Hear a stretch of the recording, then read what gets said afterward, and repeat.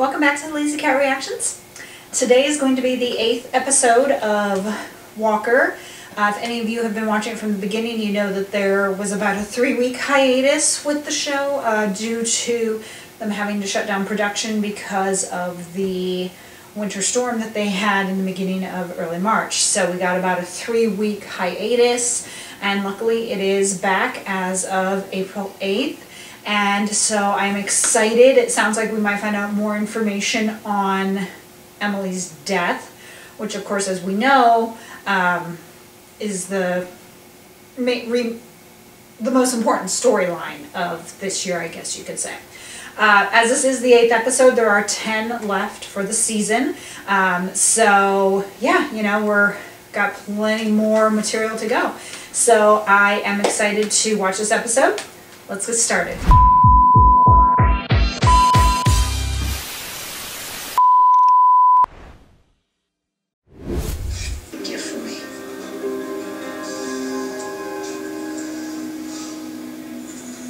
Yeah, he doesn't want to. He's feeling uncomfortable. No dandelions. Those are weeds, babe.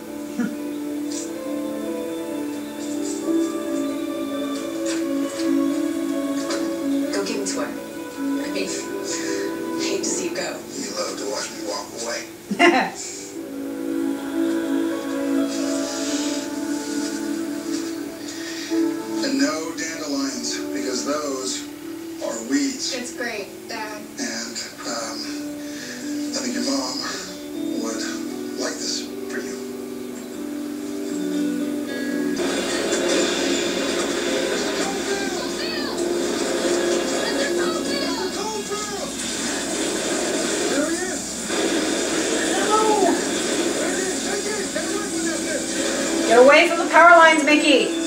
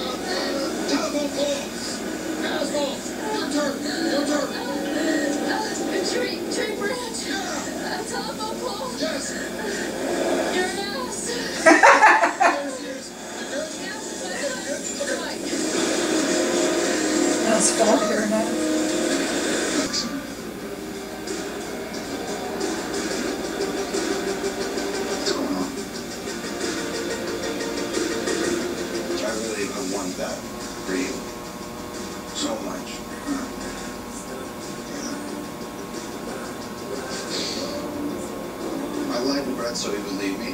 Why? Because I think something really bad is about to happen and I keep trying to control it and keep the people that I love safe. But all it's doing is taking away their choice and I'm not going to do that to you anymore. James and I did some digging further into Emily's case. And you were right. Is now irrefutable Duh. that Carlos Mendoza is not Emily's killer. So whoever took her from us is still out there. And they have ties to the north side. Not. If he would have told Brett the truth, Brett then could take whatever steps are necessary to protect him and to protect Liam. And again, I know he did it just to protect Brett, but still, I don't think that was smart because even though they broke up, he could still be a target. You know, this North Side group or whatever it is, uh, they could still go after Brett, even though they broke up. So he may not have prevented anything. So I really wish he hadn't broken up with Brett. It's nice to see Maureen and um, Braun kind of making up again and getting getting kind of back together since they have been really strained. Um, and to hear the kid, I can't remember his name, um, the way he was talking with Stella, I don't know if he's sincere since it was since he was kind of implying that he's in love with her. I don't know if he's sincere about that, but I do think something is going to happen. Um, something's going to come to blows, and he's going to have to make a decision if it's going to be his father or Stella. And I think he's going to choose Stella. I could be wrong, but I think he's going to choose Stella because I really think that being with her, he really does care about her. In Walker and Micki and how I don't really do that. I did see an article that talked about how they're not planning on getting Micki and Walker together.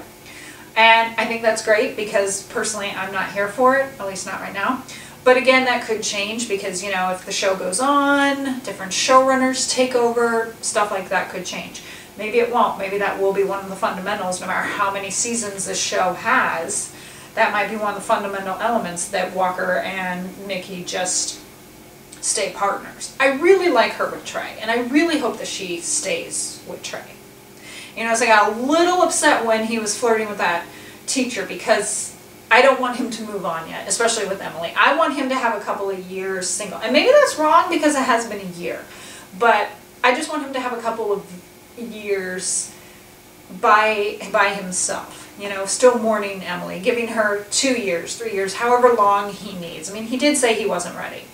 So I want him to have that time to that so that he can grow and heal and then be able, of course, to take that chance. Obviously, he doesn't want to do it before he's ready. And I just think as the audience, we need that time too. Especially because we were here when Emily died. If you liked this, this video and this reaction, cl please click the like button and hit subscribe for more great content. I am on Instagram at LazyCat Reactions. If you go over and follow me there, you will be able to see um, information about upcoming shows that I'm going to be doing, uh, clips from videos that have been filmed, and just basically anything kind of dealing with the shows that I'm doing or that I want to do. Um, and you can kind of learn some more information regarding my Patreon there as well. So I thank you all for joining me for the react to episode 8 of Walker. We've got episode 9 next Thursday, and I will see you then. Bye.